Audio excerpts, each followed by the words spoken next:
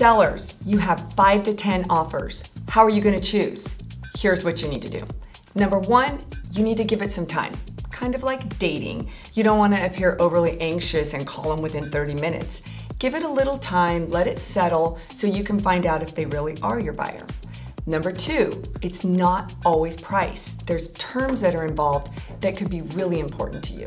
Escrow timeframes, contingency removals, do you need a rent back? All those are important, so take those into consideration.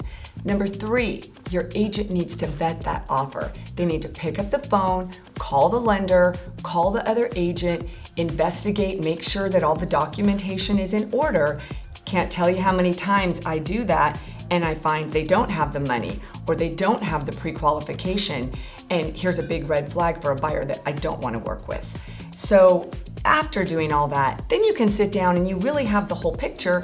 You can pick the best buyer.